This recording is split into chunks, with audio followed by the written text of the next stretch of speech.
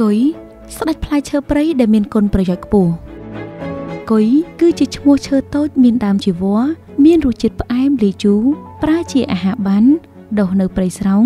និងមានតិចតួចនៅតាមព្រៃរបស់វាគឺជារុក្ខជាតិព្រៃដុះដោយឯកឯងមានដុះដោយកន្លែងនៅតាមតំបន់មួយចំនួននៃកម្ពុជាយើង ជាពិសេសគឺតំបន់ភ្នំគូលែនខេត្តសៀមរាប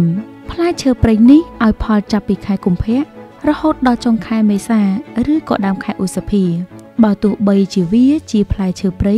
តែវាក៏មានការនិយមចូលចិត្តទាំងបណ្ដាអ្នកនៅតាមជនបទនិងទីក្រុងព្រោះតែឲ្យជារសឆ្ងាញ់និងអត្ថប្រយោជន៍ខ្ពស់របស់វា រហូតដល់គេហៅវាថាជាស្ដេចនៃផ្លែឈើព្រៃតើគុយមានគុណប្រយោជន៍អ្វីខ្លះយោងតាមសិភៅអនុផលព្រៃឈើមានតម្លៃសេដ្ឋកិច្ចនៅភ្នំគូលែនចេញផ្សាយដោយក្រសួងបរិស្ថាន បានចុះផ្សាយពីអត្ថប្រយោជន៍នៃការប្រើប្រាស់រុក្ខជាតិគុយឲ្យដឹងថា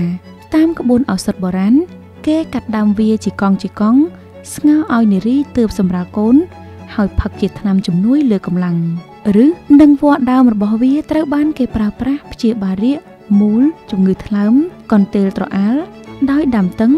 ឬត្រាំស្រាផឹងជ័ររបស់វាគេអាចប្រើប្រាស់សម្រាប់ព្យាបាលដំបៅព្យាបាលដង្កូវស៊ីធ្មេញ ដោយបន្តជ័រចូលទៅក្នុងធ្មេញដង្កូវស៊ីនិងព្យាបាលបោសដោយលាបពីលើបោស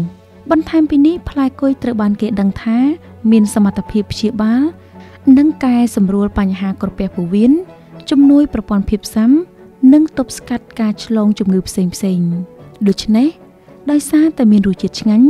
និងមានអត្ថប្រយោជន៍បែបនេះហើយទើបផ្លែគុយមានការនិយមទទួលទានខ្លាំងមិនថាអ្នកនៅទីក្រុង និងនៅតាមជនបទ ទោះយ៉ាងណាបើទោះបីវាត្រូវបានរកឃើញថា វាជាឱសថអាចព្យាបាលជំងឺច្រើនមុខប៉ុន្តែវាជារឿងចាំបាច់ណាស់ដែលលោកអ្នកគួរតែពិភាក្សាជាមួយអ្នកជំនាញមុននឹងជ្រើសរើសយកវាមកប្រើ ដើម្បីព្យាបាលជំងឺប្រភេទណាមួយព្រោះថាអ្នកជំនាញអាចផ្ដល់អនុសាសន៍ថា